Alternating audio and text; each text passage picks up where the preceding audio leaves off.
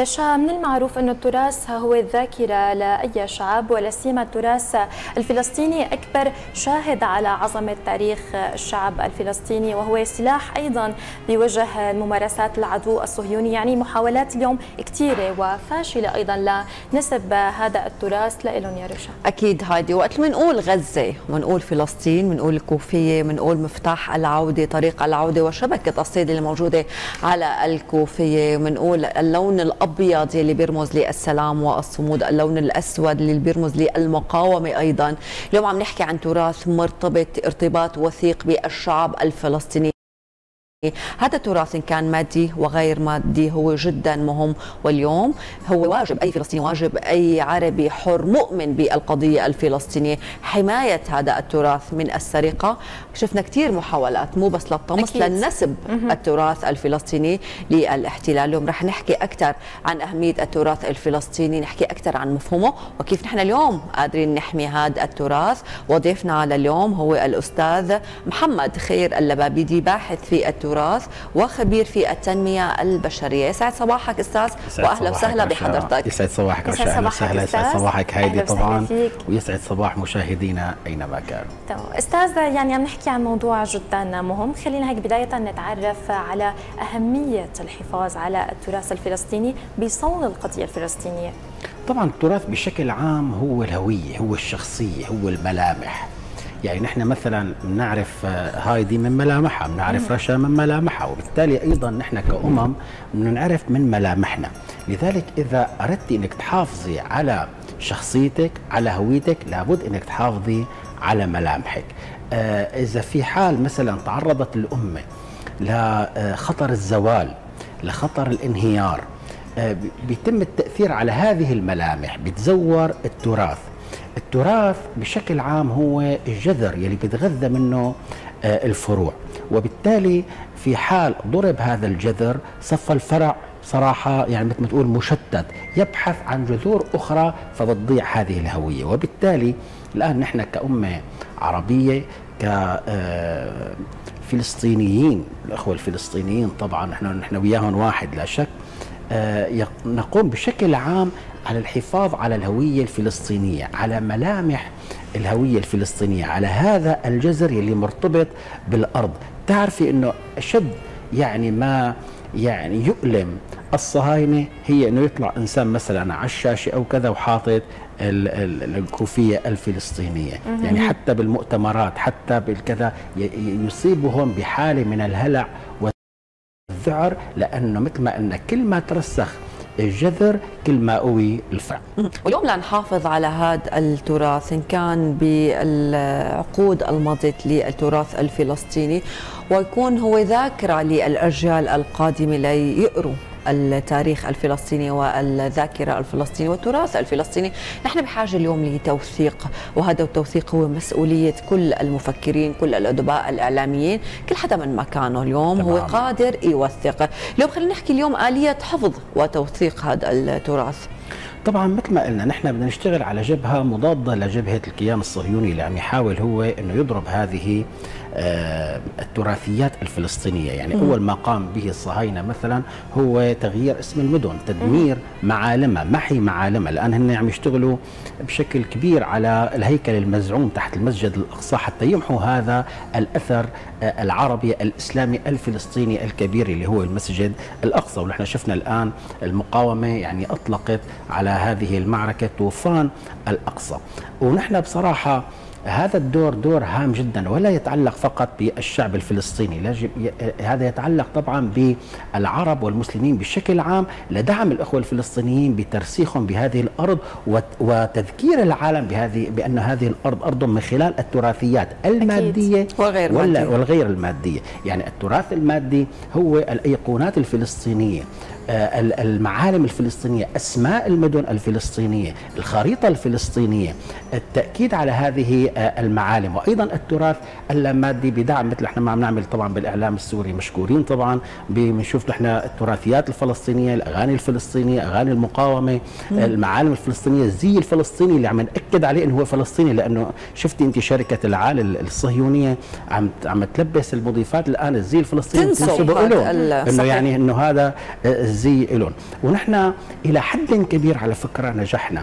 نجحنا. شو الدليل؟ الدليل إنه طبعا مقولة بن غوريون عندما قال قامت طبعا الكيان المزعوم قال إنه الموجودين الآن الكبار سيموتون والصغار سينسون. وإذ يعني يتفاجأ الآن العالم بأن اللي عم يقوم بالمقاومة هن مواليد بعد ال 2000 يعني لا حضروا 48 ولا حضروا ال 56 ولا حضروا ال 67 ولا حضروا 73 ورغم ذلك هن أشد ثباتا وأشد رسوخا بهذه الأرض طبعا وأشد مقاومة. يعني مشكلة الكيان الكيان الصهيوني ما بيتعلم. يعني الكيان الصهيوني كل ما بيخوض معركة أو بيغتال مثلا قادة بفكر أنه الشغلة انتهت. وإذا بيطلع القادة اللي بعد منهم هن أشد صلابة من اللي كانوا قبل منه. تمام. حكينا عن عناصر التراث الفلسطيني المادي. خلينا نحكي عن اللامادي أيضا.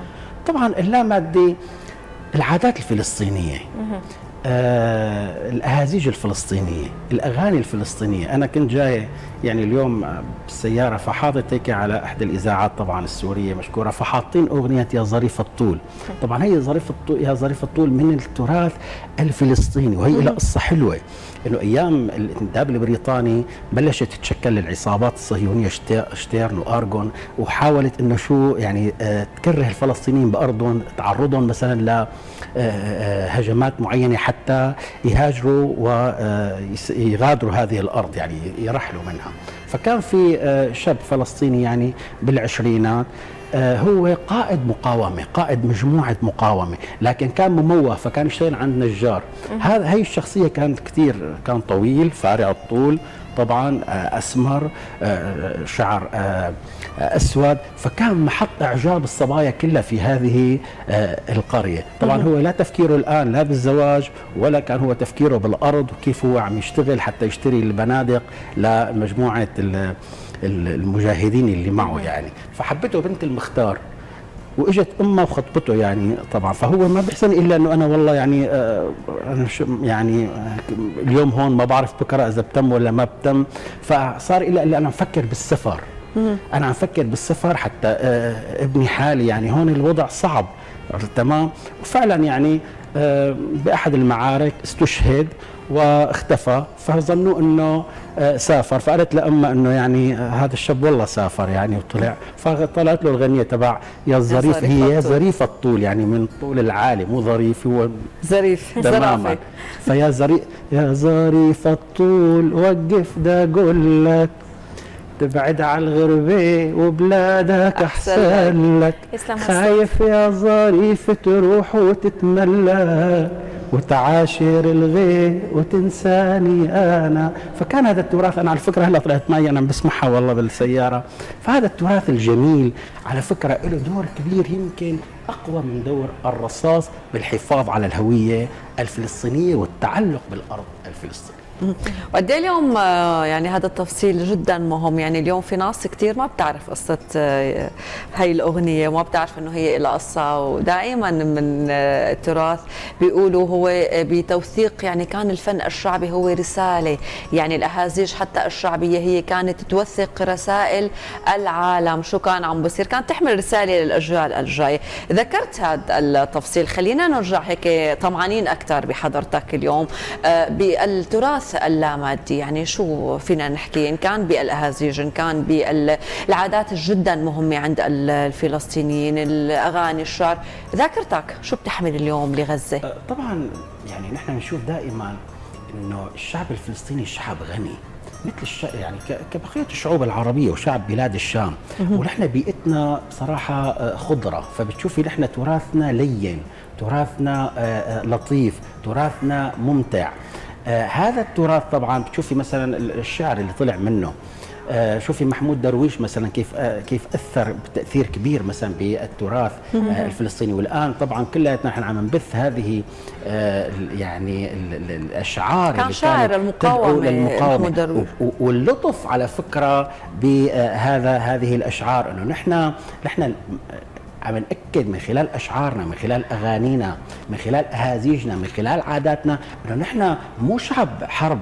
نحن مو شعب دم لكن نحن فرض علينا هذه آه، الحرب حتى نحمي حالنا. يعني اليوم كثير نحن بنقول مثلا إنه المقاومة في غزة طبعا اضطرت للقيام بهذا العمل طبعا مو محبة بالدماء هن لأنه كانوا بصراحة الاستفزازات اللي تعرضوا لها من الصهاينة تعرض المقدسات الفلسطينية للانتهاك التدمير اللي عم يصير الاعتقال اللي عم يصير الاغتيال اللي عم يصير دفعهم إلى هذه آه، المقاومة. وبتشوفي إنه القناعة الأساسية بهذه آه، بنهج المقاومة. بترجع إلى التراث بتشوفي نحن من عز الدين القسام هو سوري من جبلة. صحيح. قاد المقاومة في فلسطين وبالتالي نحن دمنا واحد تراثنا واحد أصالتنا واحدة هدفنا واحد. فبتشوفي الآن الفلسطينيين هي قضية في سوريا وجود في بالنهاية يعني وجود تماما عربي بالنهاية. تماما. ساعد السوريين على الحفاظ على التراث الفلسطيني. وفي شغلات مشتركة نحن على فكرة بيننا وبين الأخوة الفلسطينيين. كثير نحن تفاجئنا. نحن بنغنيها إنه هي بترجع للتراث الفلسطيني. الفلسطيني. تماما.